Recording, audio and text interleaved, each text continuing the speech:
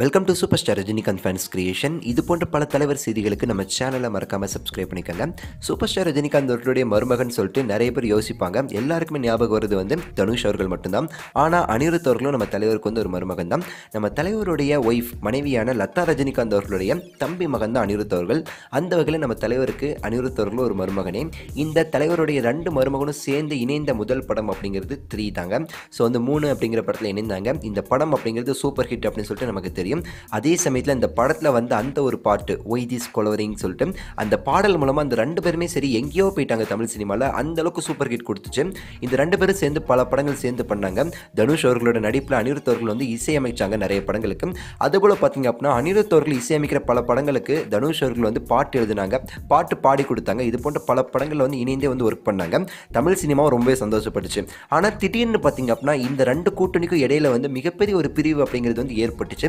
எந்த காரணம் எதுக்காக இப்பெல்லாம் வந்து பிரிஞ்சிருக்காங்கன்னு சொல்லிட்டு தமிழ் சினிமா வந்து தேடிக்கிட்டு இருந்துச்சு. எதுக்கு எதுக்குன்னு சொல்லிட்டு நம்ம அந்த அளவுக்கு வந்து விடையே கிடைக்கலன்னு சொல்லலாம். ஆனால் அந்த ரெண்டு பேரும் பார்த்தீங்க அப்படின்னா சமீபத்தில் வந்து அங்கே இங்கே சந்திச்சு வந்து நாங்கள் எங்களுக்குள்ள சண்டை இல்லை நாங்கள் ஒன்றா தான் இருக்கோம் அப்படின்னு சொல்லிட்டு நிறைய விஷயங்கள் சொன்னாலும் பேசினாலுமே சரி அந்த ரெண்டு பேருக்கு இடையில வந்து ஒரு மிகப்பெரிய ஒரு பிரிவு அப்படிங்கிறது வந்து சமீபத்துலையும் சரி இருந்துக்கிட்டு தான் இருந்துச்சு சொல்லிட்டு நிறைய பேர் சொல்கிறாங்க ஆனால் இப்போ வந்து அந்த சண்டை அப்படிங்கிறது வந்து முடிவடைஞ்சிருக்கு.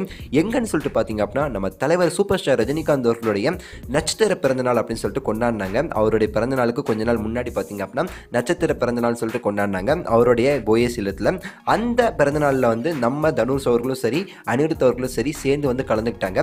அந்த சமயத்தில் ரெண்டு பேருமே சரி மனம் விட்டு நிறைய விஷயம் வந்து பேசியிருக்காங்க. ரொம்ப நேரம் பேசியிருக்காங்களாம்.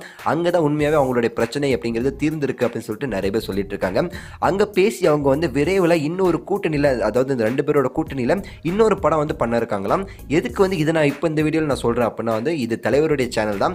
அந்த கூட்டணியில் இவங்க பண்ணுற படம் அப்படிங்கிறது வந்து எதா இருக்க போகுதுன்னு சொல்லிட்டு நிறைய பேருக்கு டவுட் இருக்குது ஆனால் நான் என்ன நினைக்கிறேன் அப்படின்னா வந்து இப்போ சமீபத்தில் வந்து ஒரு நியூஸ் அப்படிங்கிறது வேகமாக பரவிட்டு இருக்கு.